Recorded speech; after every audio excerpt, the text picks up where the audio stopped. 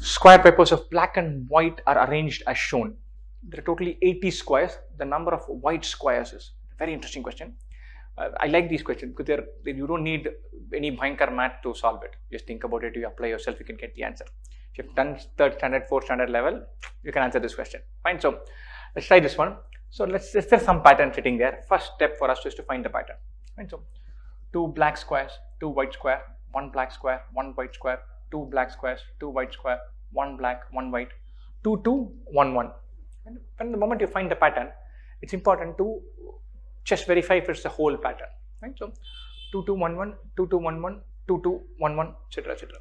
Now the next step is to say, okay, at what cycle does my pattern end? So pattern gets cut off here, my pattern gets cut off here. Every six squares, the pattern gets completed. What happens from 1 to 6 happens from 7 to 12, happens from 13 to 18, happens from 19 to 24.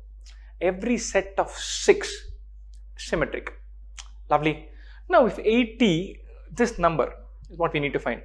If this number had been 60, that's a multiple of 6, life is very easy, done. Everything will behave, there will be 10 sets of 6, we're done. No, that's not. Now, now what you have to say, we have to say sets of 6 will collect. So in the first 6, if you think about, there will be 3 black and 3 white. If you took about the first 12, there will be 6 black and 6 white.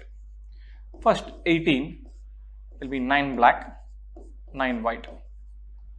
So any multiple of 6, this question becomes very easy. First 60, easy. First 66, easy. 72, easy. 78, easy. 84, 84, 84. I don't want to do 84. I'll do till 78. So uh, I'm going to think about the first 78 squares. This is 13 sets of 6 each. In each 6, there are 3 blacks and 3 whites. 13 into 3, 39 blacks and 39 whites. Lovely. So we completed 13 cycles quite wonderfully. All done. Now, but that means we've gone, gone till square number 78. 79 and 80 are remaining 79 and 80. So the number of white squares we need to find till 78 the 39 black and 39 white. Right? Now 79th square will be back to this beginning. So this will be the 79th square. This will be the 80th square.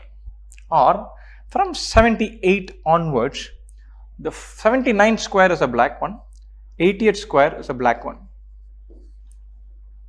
Or there will be totally 41 black 39 whites when there are 80 squares. Right? Go in steps of 6, grab 6 at a row, complete that and then think about what is remaining. So if you're looking at 80 squares, it is 13 sets of 6 squares each. That will break as 39 and 39.